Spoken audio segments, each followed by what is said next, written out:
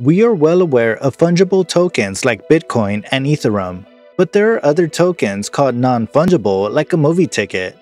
Welcome to Fix Your Finances, Build Financial Wealth. If you want to build your financial wealth and fill your mind with the right information, make sure to hit the like button and subscribe for us to provide you with more valuable content. Let's get to it. In a world that is coherently dependent on technology, popular industries like video games, graphics, and other forms that deal with creative work require something revolutionary so that they never run out of business. We have heard of cryptocurrency before, but NFT might be a new term. First, let us differentiate between what is fungible and what is non-fungible.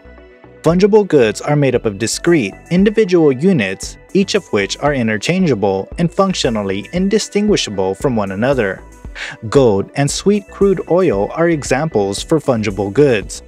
Let's understand this with an example. Suppose you borrow a $100 note from a friend.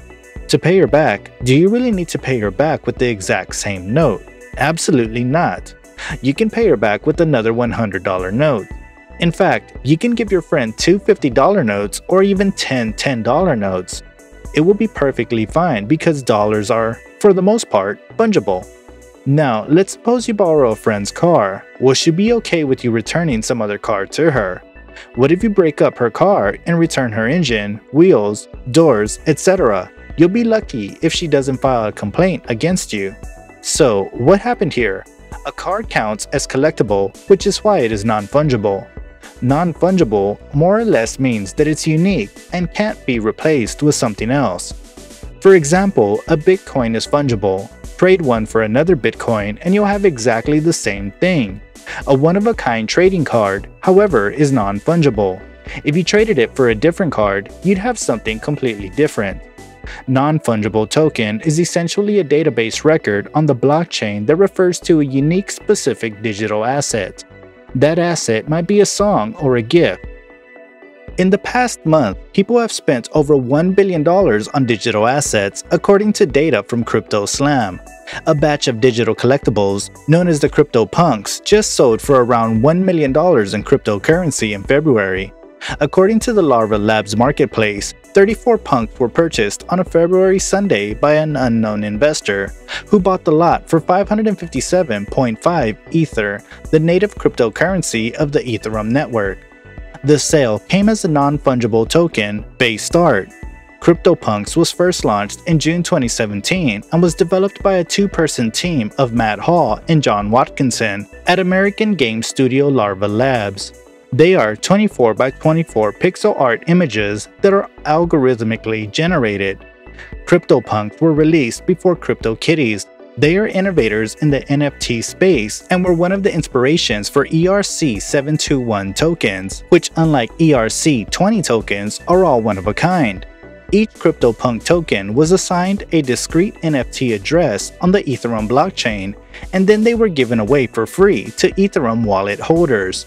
So, what's driving people to get in on the NFT mania?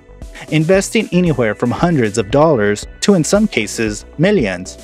Crypto art investors say it's a combination of several factors, including the pandemic, as well as the rise in Bitcoin prices. In the past few months, crypto artists have been drawing more attention than ever before to NFT marketplaces with flashy sales.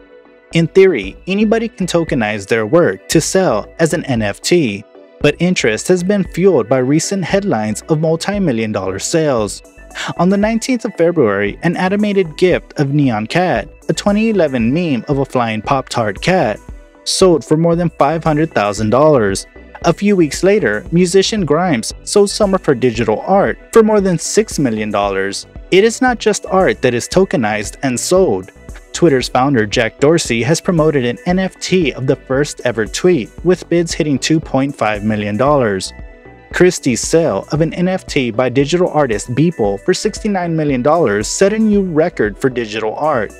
The work is a digital collage of 5,000 futuristic images by Winkelmann, made one image every single day for 5,000 days, starting on May 1, 2007 through January 7, 2021. Winkelmann has made millions of dollars selling his work, with his sets often selling out in minutes. For example, his 2020 Everydays collection for 20 works of NFT based 3D digital art sold for $3.5 million in December.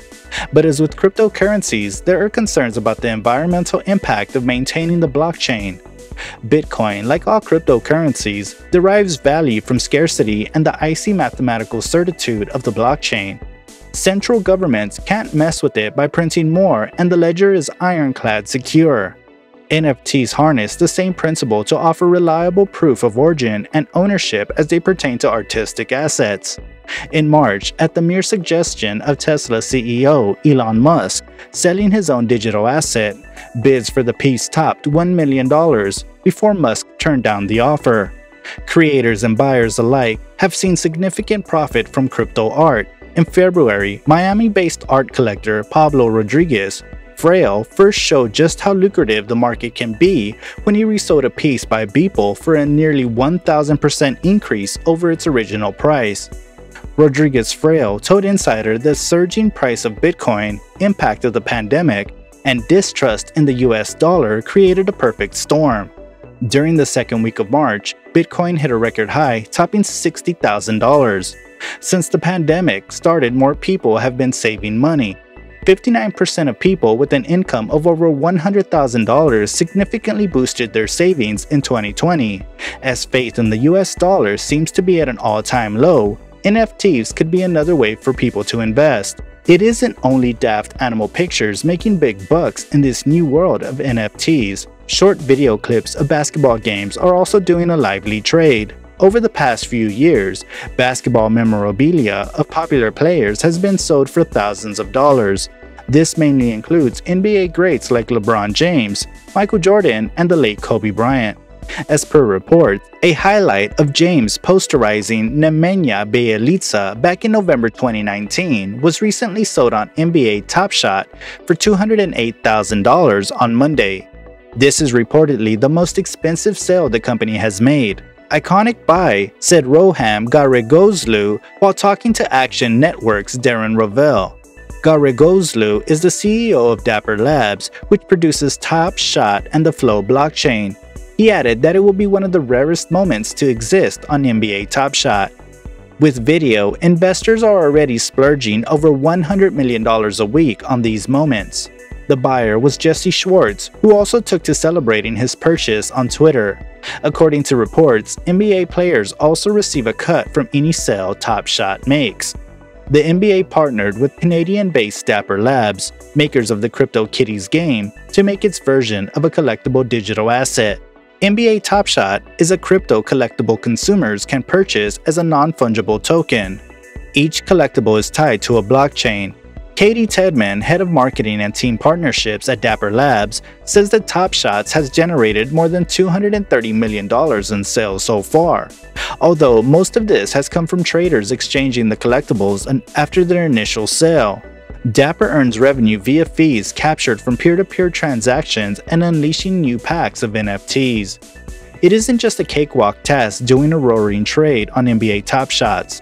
One excitable fan just paid $100,000 for a clip of New Orleans Pelicans power forward Zion Williamson merely blocking a rival player's shot. Just a few months ago, Jasmine Boykins posted her artwork online for free.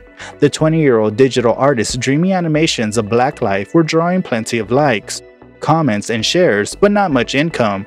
Aside from money she made selling swag with her designs between classes at North Carolina A&T State University. A bubble it may be, but many digital artists, fed up after years of creating content that generates visits and engagements on big tech platforms like Facebook and Instagram while getting almost nothing in return, have lunged headlong into the craze.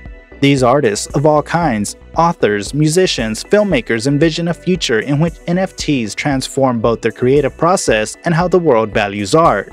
Now that it's possible to truly own and sell digital art for the first time, you will have so many people from different backgrounds and genres coming in to share their art, connect with people, and potentially build a career, Boykins says. Artists put so much of their time and themselves into their work. To see them compensated on an appropriate scale, it's really comforting. Technologists, meanwhile, say NFTs are the latest step toward a long promised blockchain revolution that could radically transform consumer capitalism with major implications for everything from home loans to healthcare.